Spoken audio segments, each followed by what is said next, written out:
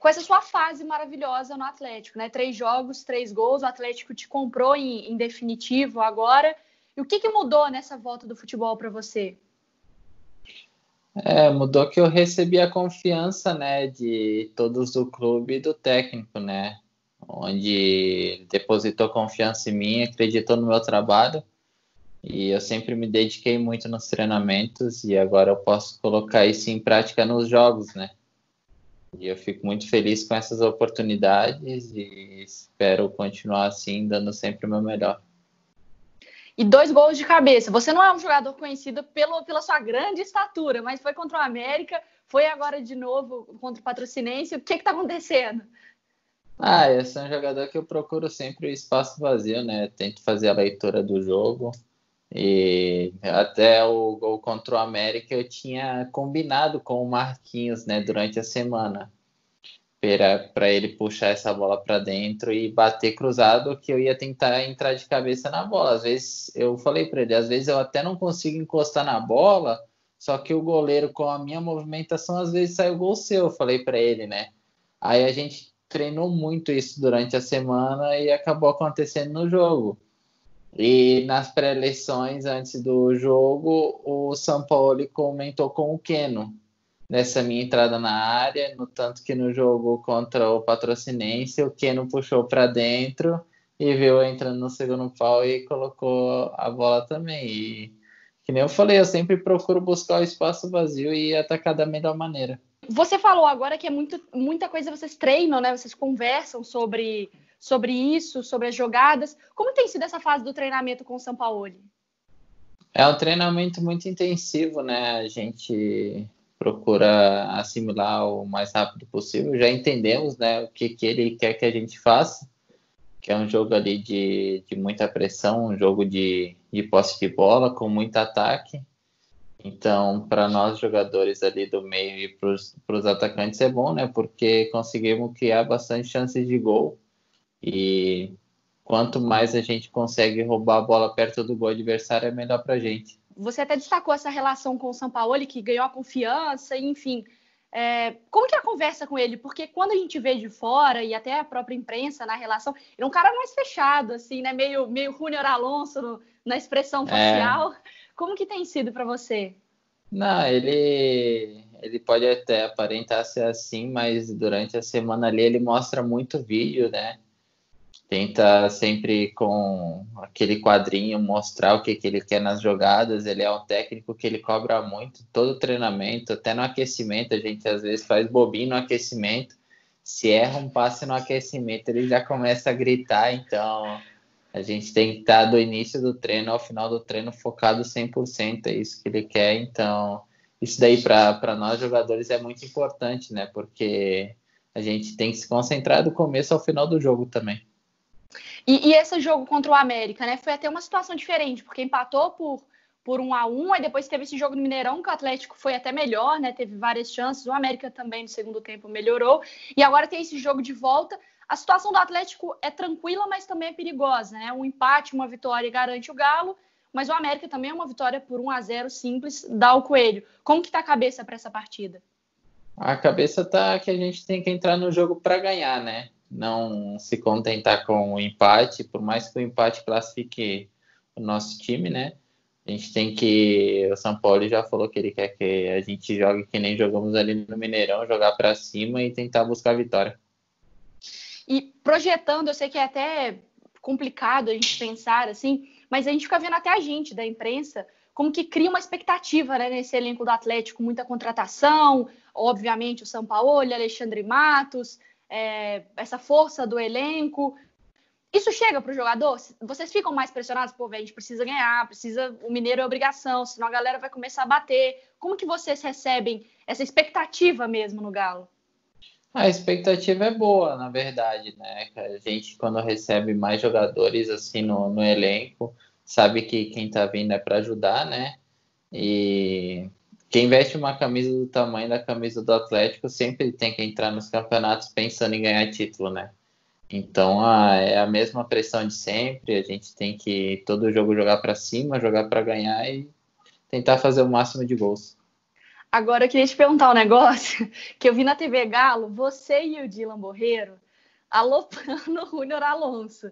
Vocês vão tomar uma no meio da canela, né? Não, não, vocês não, é o Dylan, pô. O Dylan é um cara brincalhão, né? Daí ali o Júnior Alonso tava passando, falando, vou entrar na brincadeira também. Porque eu, eu não gosto muito de brincar assim antes de jogos e tal. Eu procuro me manter ali focado, faço minha oração, fico concentrado no jogo. E aquela hora ali o, o Júnior Alonso tava indo, eu falei, vixe, vai dar zoeira, meu. Aí eu olhei, o Pedro já tava filmando, eu falei, ó, oh, o Dylan vai querer zoar. Daí começamos a fazer uma brincadeira ali.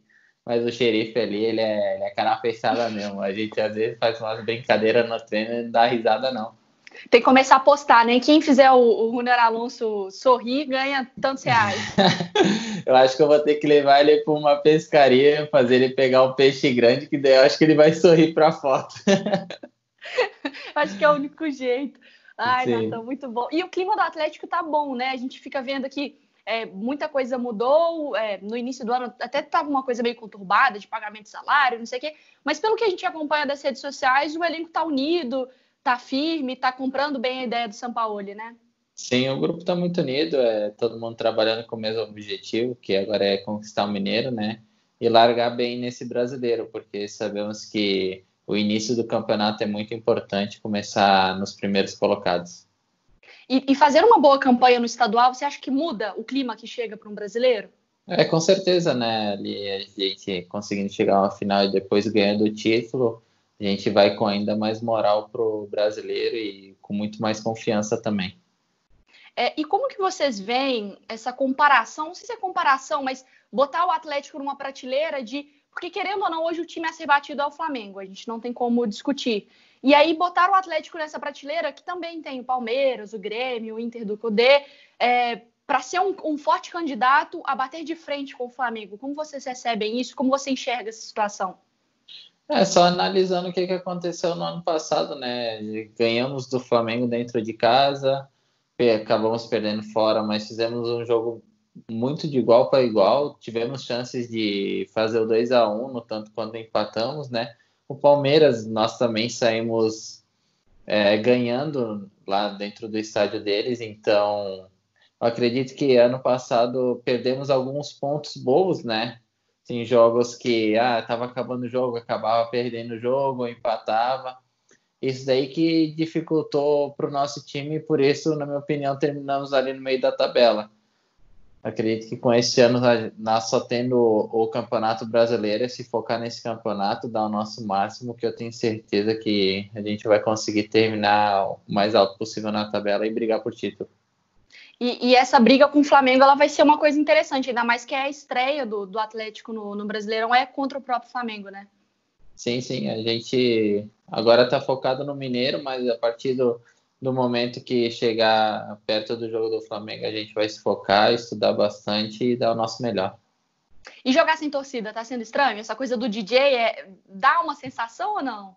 Aí é estranho, às vezes você chuta pro gol, dá uns 3 segundos, o DJ uh, bate palma, então até, até brinquei com os meninos, pô, DJ tá meio atrasado, pô, você chuta a bola, depois de o goleiro tava batendo tiro de meta, ele. Uh!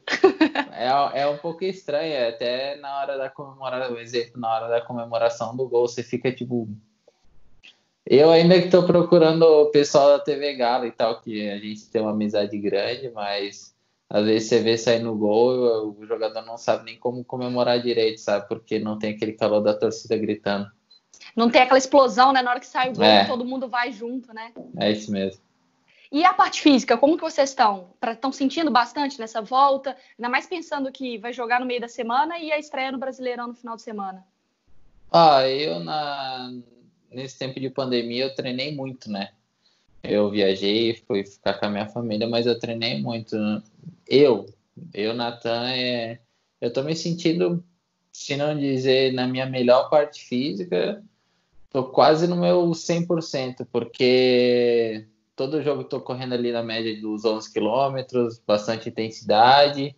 E tô terminando os jogos tipo, inteiro, não tô terminando o jogo muito cansado. No outro dia já tenho uma recuperação boa, a gente está treinando no dia pós-jogo também. Eu tô conseguindo treinar bem, então eu tô me sentindo bem. A, a, eu vejo que algum, alguns jogadores ainda sentem um pouquinho por causa dessa volta do futebol, foi muito recente, né? Mas acredito que mais alguns jogos o nosso time está 100%. É, a última pergunta, então, para te liberar: você vê o Atlético pronto? Você acha que ainda faltam algumas peças? Talvez com o Tardelli, depois que ele machucou, talvez um 9. O que, que falta ainda para você falar assim, não, esse Galo está pronto para disputar o Brasileirão? Na minha opinião, ainda falta um pouquinho de entrosamento, né? A gente está com um time aí que ainda está se conhecendo.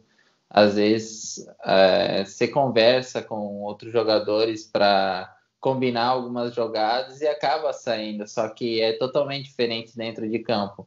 O entrosamento conta muito, né? Eu acredito que na hora que a gente conseguir entrosar, saber onde o, o companheiro está sem precisar olhar, isso daí vai facilitar muito na hora do jogo e as coisas vão fluir naturalmente.